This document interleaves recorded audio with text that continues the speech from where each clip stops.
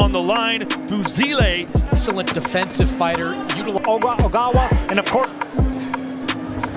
I like the patience so far. Ooh, stick there, but I like the pace so far of Ogawa It looked like Fuzile had put South Africa into the country. Big right hand for Ogawa. There's one right there. you know, getting position, Will got doing that. stands to carry power. A lot of fighters. Southpaw. Right. You want to punch at the shoulder, and you want to double up on the shots. Oh, big right hand that buckled it, and down goes Fuzile. A monster shot from Ogawa. Oh, he thinks he can fit everything. Can Ogawa catch him again? Opportunity. Oh, and a big straight. Technique behind that crushing right hand.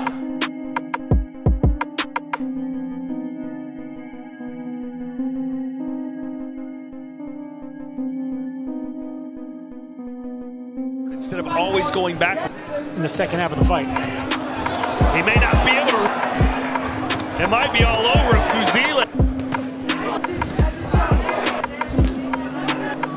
Ogawa beat Caught him again. World title fight, mind.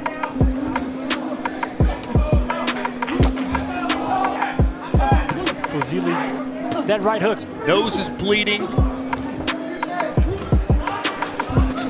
Got it back to get. Oh, a big right hand, and you can see Fuzile's legs wobbly again, and he takes a knee. Fuzile, show me something. Ogawa.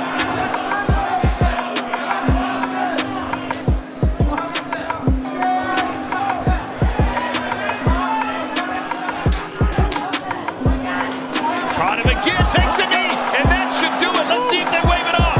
Stop this.